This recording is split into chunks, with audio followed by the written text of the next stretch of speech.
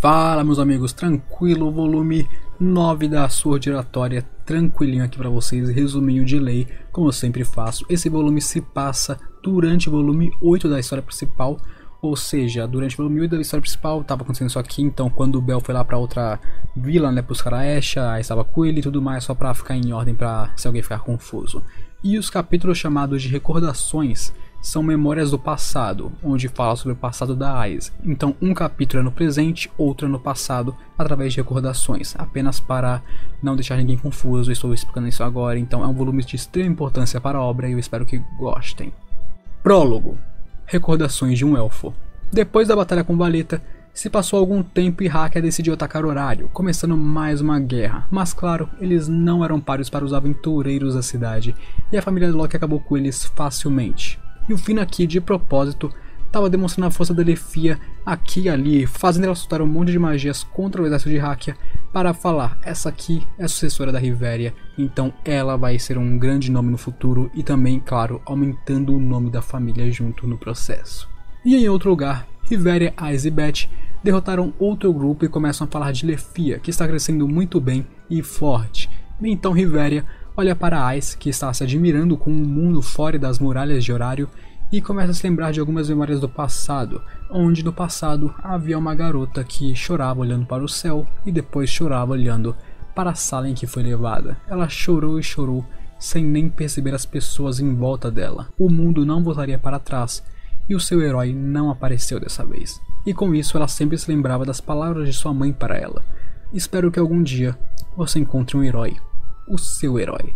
Mas a garota entendeu que um herói para salvar ela nunca existiu, e quando ela entendeu isso, seu coração congelou. Uma parede de gelo se formou para proteger ela. E então, parando de chorar, quando ela perdeu completamente a sua inocência infantil, ela falou: Eu quero poder. E com esse pedido, toda a emoção de seu rosto havia sumido.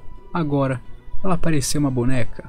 E a deusa de cabelos vermelhos, o herói Palum, o grande anão e o elfo supremo olhavam muito tristemente para ela. Afinal, uma criança que havia acabado de morrer. E nesse momento também havia nascido a princesa da espada. Capítulo 1 Um incidente no acampamento. Durante a noite, no acampamento da família no meio da guerra, tem as trocas engraçadas lá, todo mundo zoando, a Lena indo lá mexer com o Best e tudo mais. Mas quando todos foram dormir, a Lefia ficou acordada para estudar, e foi quando ela notou que a Ais estava de guarda lá, olhando para o horizonte, como sempre. E com isso foi surpreendida por Riveria, que disse para a garota ir dormir, mas ela não queria ir dormir, ela queria estudar mais e ficar mais forte. Então essa é deixa para a Loki entrar em cena. A Loki fala que a Lefia se esforçando lembra muito a Ais quando ela era uma criança, e quando criança a Ais nunca escutava ninguém e era bem disciplinada, sempre xingava os outros e não ouvia ninguém. E a Lefia pergunta sobre isso, e a Loki, claro, diz que não tem problema contar um pouquinho. Então, a Rivéria começa a contar suas lembranças de um passado distante. Recordação 1 O começo da garota. A Loki perguntava para a garota se ela tinha certeza disso, e a garota apenas concordou com isso. Seus olhos afiados como lâminas não tinham dúvidas, e ali a garota recebeu a fauna de Loki e entrou na família. A Riveria foi registrar a Ais na guilda com a atendente lobisomem chamada Rose, e lá a garota não preenche nada além de seu nome e idade. Ela tinha 7 anos nessa época. Ela tenta ir direto para a dungeon, mas é parada por Riveria imediatamente. Ela ainda não tinha equipamentos, e então a guilda fornece alguns equipamentos para a jovem Ais. A Rose, que é uma veterana na guilda, faz a sua avaliação na jovem para Riveria. Ela é do tipo que está andando para a morte. O olhar em seu rosto diz isso. Aquela garota vai se matar quando a família Loki virar os olhos para ela em algum momento. E depois disso, a River e a Ice entraram na dungeon e a Ice se sentia familiar lá. Ela sabe que, quando ela era criança, ela já tinha ido para a dungeon uma vez ou outra, mas ela não se lembrava disso claramente. E para surpresa de Riveria, ela ficou horrorizada. A garota, em seu primeiro dia da dungeon, matava goblins, kobolds com apenas um golpe, usando pura força bruta que fazia até a sua espada quebrar. Ela aniquilou hordas e hordas de inimigos, que era algo descomunal para um aventureiro em seu primeiro dia. E em uma reunião com os executivos mais tarde disso, ao saber como que Ais agiu, como que ela fez aquilo, eles decidiram não contar a ela sobre Tempest, sua magia, porque seria suicídio para a garota saber disso nesse momento. E antes de mais nada, eles ainda precisavam controlar sua habilidade, que estava fora de controle no momento. Eles precisavam começar a educar ela e ajudar ela. E a principal a cargo disso foi Riveria. Mas a Ice odiava duas coisas: estudar e passar tempo com Riveria. Ela só queria uma arma e começar a lutar, mas no fim, ela era sempre forçada a estudar por uma Riveria irritada. No seu segundo dia de aulas, ela já tinha fugido de Riveria apenas para encontrar Finn na biblioteca. E lá ele decidiu que ele iria lutar contra ela, já que ela queria tanto lutar. E lá ela sofreu uma derrota completa para Finn, que apenas diz ela precisa estudar, treinar e ter experiência. Ela é uma criança ainda, e com isso a Ais entendeu. E embora ela não quisesse, ela decidiu que estudaria e treinaria para construir sua força. E foi quando ela começou a brandir sua espada no jardim sozinha todas as manhãs, algo que ela faz até mesmo hoje em dia. Capítulo 2 Calma momentânea. Depois de uma semana no campo de batalha, a família Locke voltou para a cidade para continuar investigando a chave do Knossos e cuidar dos espiões de Hakia. E bom, quanto a Garth, ele estava fora da cidade, a alguns quilômetros dela. Enquanto investigava, ele achou uma rota de entrada e saída para o contrabando que os males faziam no Knossos. E então eles explodiram aquela rota e procuraram por outras ao redor de horário para acabar de vez com o abastecimento do Knossos. O Beth junto de Lena, Tiona e Tione não acharam nada no bairro dos Prazeres, mais especificamente nos aposentos de estar, enquanto procuravam por lá. Enquanto a Ice foi para o 18º andar junto de Lefia e alguns outros para procurar algo lá. E lá eles acharam uma porta de Orichalcon escondida nas rochas, ou seja, uma das entradas para o Knossos da dungeon. Voltando para o primeiro dia da guerra, a Loki se encontrou com a Freya e lá ela perguntou se a deusa sabia sobre Tammuz, já que foi a família dela quem atacou e destruiu Star. E Freya diz que não sabe de nada, mas dando a entender que ela não entregaria uma criança que caiu em suas graças. E agora, atualmente, a Freya recebeu um relatório de Tammuz sobre tudo o que Star fazia enquanto segurava um orbe de Dédalus em suas mãos. Assim como a Loki suspeitou, a Freya está escondendo ele desde a noite no bairro dos prazeres. E é claro, agora ela tem interesse no que está acontecendo em horário. E enquanto isso, a Loki se encontrava com Hermes e lá ela deu um trabalho para ele. Ele procuraria pelo orbe e diz que Freya é uma pista para isso. E claro, depois sai da sala, sempre insultando Deus. E no outro lado da cidade, a Leifia que investigava trombou com Bel que procurava por Esha, e mais tarde ela ficaria sabendo que Ares sequestrou Esha, e Ais, junto com Bel, foram atrás deles. Recordação 2 Você é uma espada? Já faziam seis meses que Ais se tornou uma aventureira e ela crescia rapidamente, estudava e treinava bem. O problema era que ela não cuidava de si mesma e só pensava em treinamento, e enquanto Finn e Verilok se preocupavam com ela, a Ais estava na dungeon com o Garth. Lá ela atacava monstros atrás de monstros, sem nem se preocupar em se defender. Essa garota apenas pensava em treinar e ficar mais forte. Ela mal comia e dormia, deixando todos preocupados, e ela não conseguia nem ver que eles estavam preocupados com ela, o que era pior ainda. Principalmente a Riveria, que já estava em um estado quase sendo uma mãe para ela nesse ponto. E naquele mesmo dia, depois de voltar para a dungeon, ela pede que eles façam uma espada personalizada para ela, porque ela está cansada de sair quebrando espadas. E obviamente eles negaram isso para ela. E então, ela sendo mimada, foge de casa e por acaso acaba encontrando Tsubaki, a quem ela pediu para trabalhar em uma espada. Mas o ferreiro apenas negou seu pedido.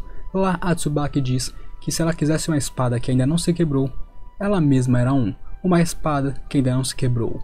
Ou seja, uma espada que um dia vai se quebrar. A Ice ficou perplexa com isso e não conseguia entender aquilo, mas de alguma forma aquilo acertou bem onde tinha que acertar e ela realmente ficou pensativa sobre isso. E naquela noite, depois que ela falou tudo isso para Garth, ele ensinou a ela como cuidar de suas espadas. E então ele diz que da mesma forma que ela tem que cuidar de sua espada para que ela não se quebre e mantenha o brilho, um aventureiro tem que cuidar de si mesmo para não se quebrar, para não morrer. E foi isso que a Tsubaki quis dizer à garota mais cedo. E depois daquilo, ela começou a cuidar de sua espada todos os dias antes de ir dormir. Dormiu bem e se alimentou bem, e deixou até mesmo a Riveria cuidar de seu cabelo. E nesse ponto, ela tinha ganhado algo valioso, e graças a essa mudança, eles decidiram finalmente encomendar uma espada para ela. E foi quando ela ganhou a Surra de Ar, a Espada do Ar.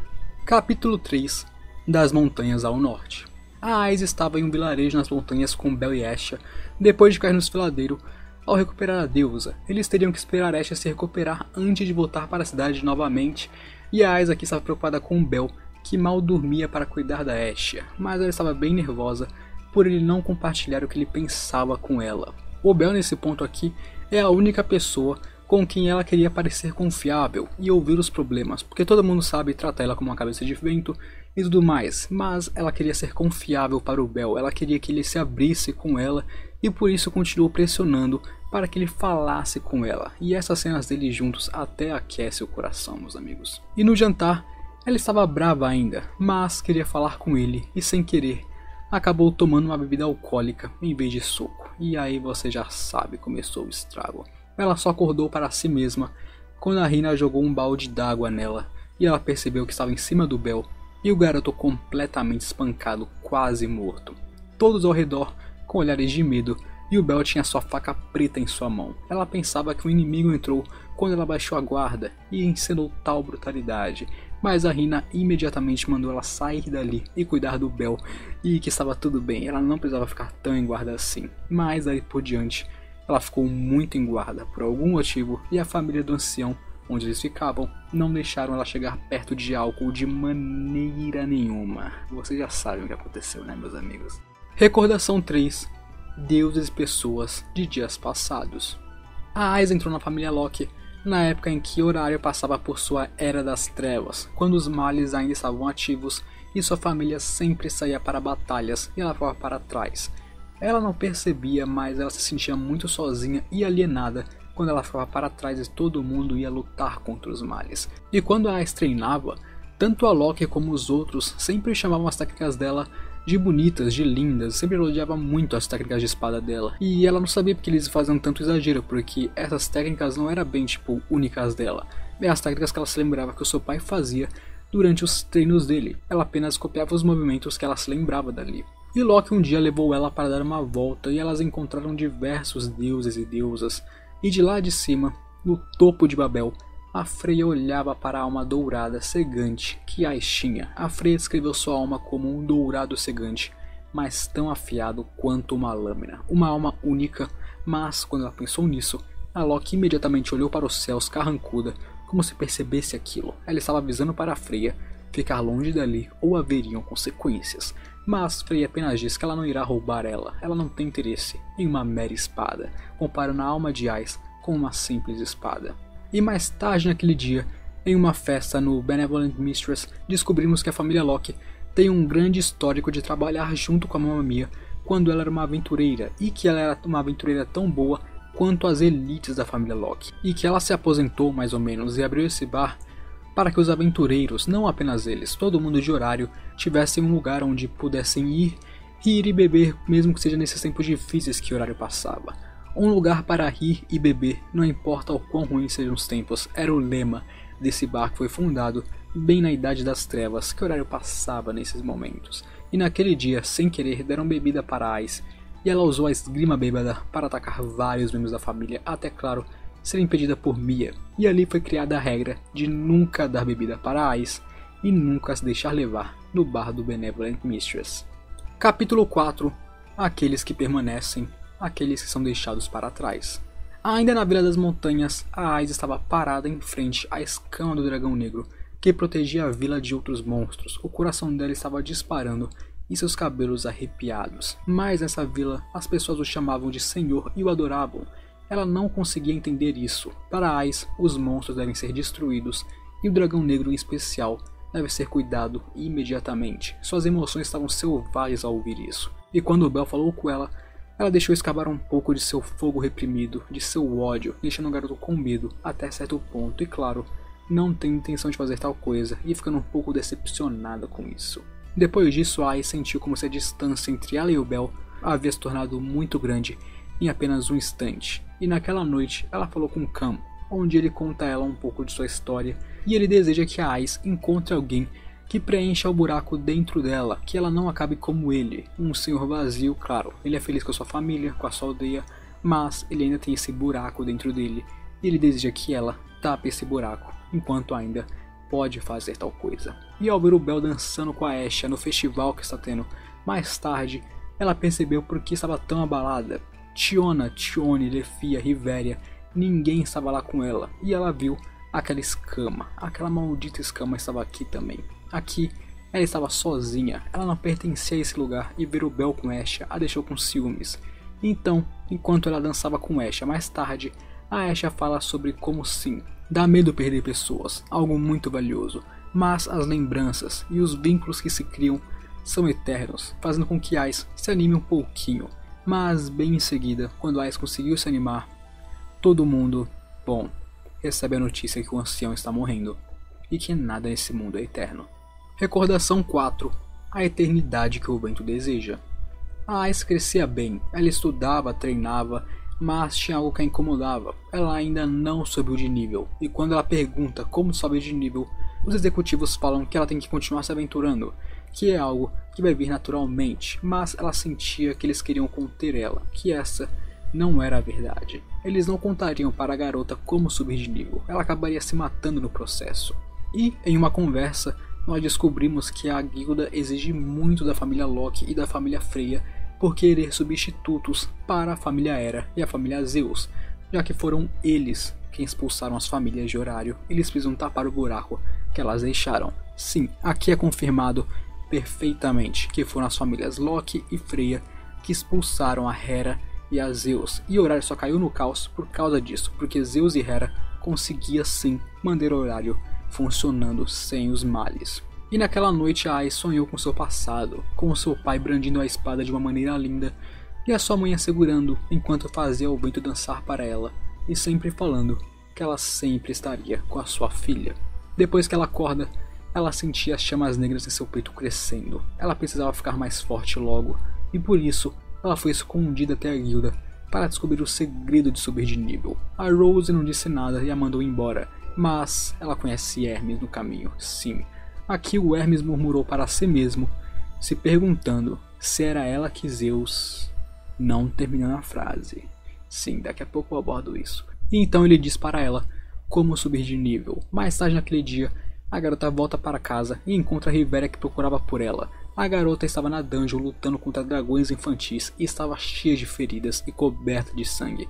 E lá, Rivera brigou com ela pela falta de cuidado e desobediência. A Rivera estava muito preocupada e triste por Ice ter feito isso nesse momento. Mas ela recebe gritos de raiva de Ice. A garota estava com raiva e se sentindo traída por Riveria não contar a ela a maneira como subir de nível. Ela se sentia rejeitada e machucada por isso. E lá elas têm uma briga onde a Ice rejeita a Riveria e corre para a dungeon novamente. E as palavras que ela gritou para a Riveria machucaram até mesmo ela sem nem saber porquê. Enquanto Ice corria para a dungeon, a Riveria ficou parada na chuva sem nem se mexer. Ela se sentia desamparada e rejeitada. E é quando Finn, Loki e Garth acham ela e dizem que, com certeza, a Ais está em um estado bem pior agora, e é ela, que supostamente é a figura materna de Ais, deveria ir atrás da garota. E enquanto isso, o Thanatos sentia o cheiro da morte em Ais e iria atrás dela agora. Ele manda a Valeta causar caos pela cidade para desviar a atenção da dungeon. E agora, ele iria ir atrás da Princesa da Espada. A Ais agora estava no 12 andar da dungeon, e lá ela encontrou Thanatos. Thanatos como um deus é capaz de ver perfeitamente bem através dela e começou a falar sobre os problemas dela. E ela identificou ele como um dos males, mas ele soava muito convincente. Ele falou que daria poder para ela e era o que ela mais queria. Ela vacilou na presença desse deus. Ele queria que ela aceitasse ele e abraçasse as chamas de seu peito, mas ela sabia que por mais que ela quisesse poder, ela não iria trair a família Loki aqui. Então, sendo rejeitado, Thanatos libera sua vontade divina dentro da dungeon e então foge por uma passagem do Knossos.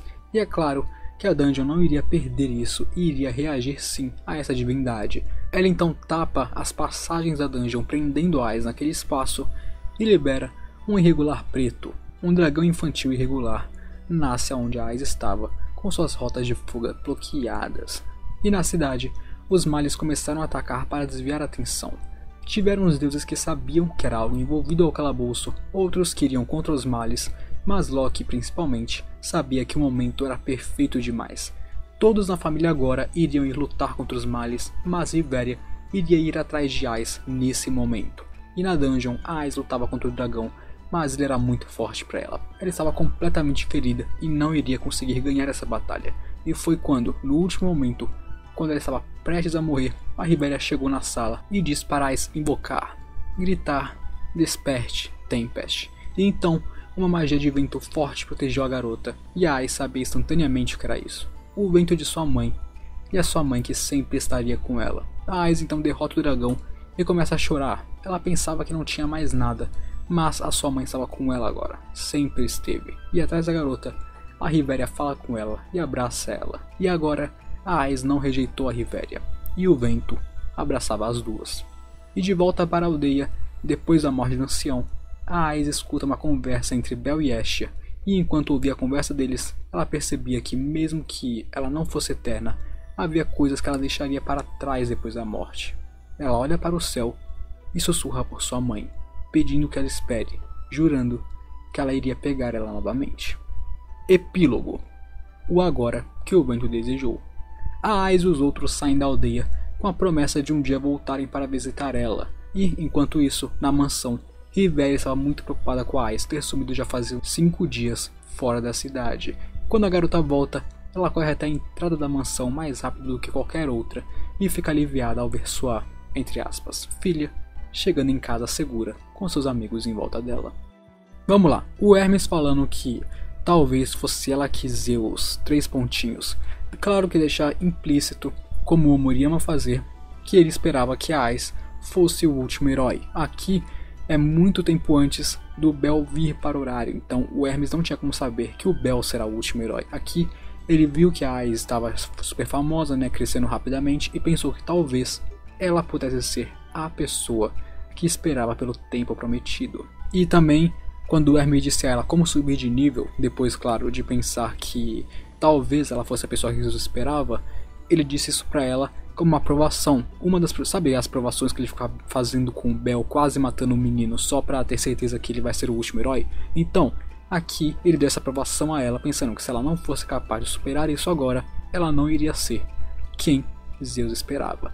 Bom, eu acho que essa é toda a explicação que eu tenho para dar. Que volume longo, mas que volume bonito e que volume importante, meus amigos. Mas é isso agora. Me despedindo de vocês, dá aquele like se você gostou do vídeo, se inscreva se não for inscrito ainda, apoie o canal, compartilhe o vídeo, comenta aqui nos comentários o que você achou. É isso, tamo junto, até a próxima, fui.